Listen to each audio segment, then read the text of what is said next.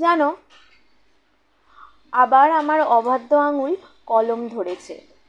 তোমার চরম সত্যি আর অদ্ভুত সততার জন্য। অদ্ভুত সততা। হ্যাঁ সত্যিই তুমি বলেছ আমি শুধু রান্না করেছি। সাথে ছিল হাজার গোপন পরকীয়ার সহবাস। হ্যাঁ আমি শুধুই সহবাস আর রান্নাটুকু করেছিলাম বলেই তোমার উঠান বাড়ির চারপাশে ঘাস জন্মাতো না একটিও? গোপন সহবাস ফেরত আমার তিক্ত হাতের খাবারের গ্রাস তোমার মুখে উঠত প্রতিদিন। পাছে তোমার দেরি হয়ে যায়? হ্যাঁ আমি শুধুই রান্নাটুকু করেছিলাম বলেই অফিস ফেরত ক্লান্ত তুমিটাকে আমার সহবাস করার তিক্ত হাত তোমার মাথায় হাত বোলাতো। স্নেহ ছিলাম মায়ের মতো।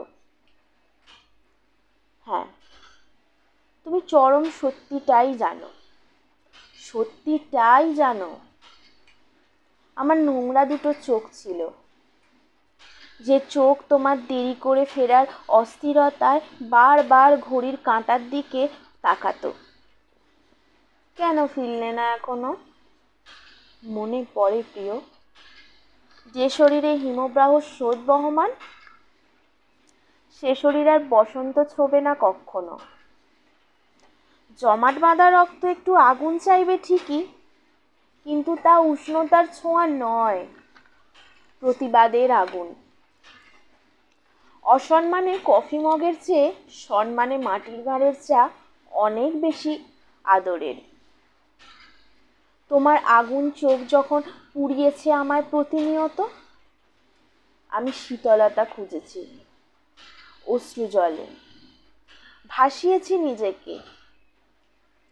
জানো প্রিয়, শীতলতার বড় স্মৃতিকে সতেজ রাখে, তাই দাবানল চাই। আর শুধুই দাবা দাবানল চাই, পুড়ে ছাই হোক লাখো স্মৃতি। পুড়ে ছাই হোক সমস্ত পুরুষতন্ত্র। হই আমি চরিত্রহীনা।